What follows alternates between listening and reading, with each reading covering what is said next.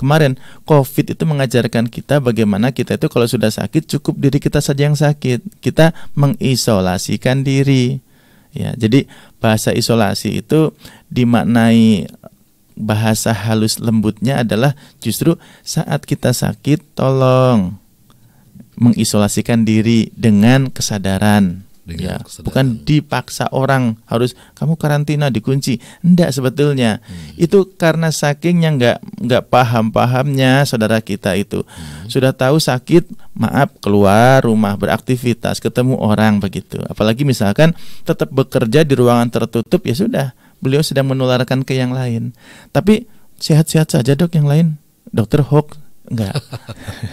Jadi Kena hoax gitu. jadi sebetulnya saat seseorang bersin Iya. atau kemudian batuk di suatu ruangan, seisi ruangan itu sebetulnya terpapar. Sebetulnya terpapar. ya. Terpapar. Cuma beruntung orang-orang yang di situ daya Hmm, tahan tubuhnya iya, sedang baik. sedang baik. Itu aja.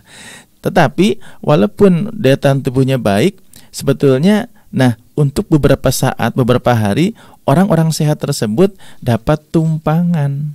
Tumpangan apa? Virus kuman tadi yang dilepaskan droplet oleh yang sakit begitu. Jadi misalkan eh, seseorang itu sehat nih, sehat, daya tahan tubuhnya baik, sedang bugar gitu.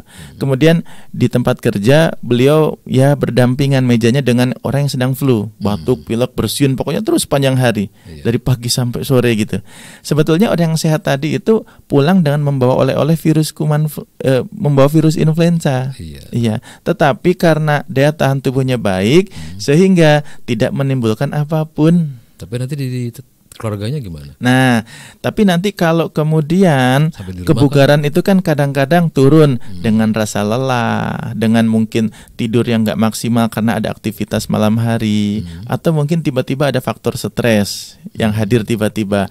Nah, seketika daya tahan tubuh turun tuh, Iya. daya tahan tubuh turun, maka virus influenza tadi yang sifatnya laten, Bangkit yang ya. infeksi ya eh, sifatnya itu hanya numpang, jadinya mengganggu. Nah, seperti itu.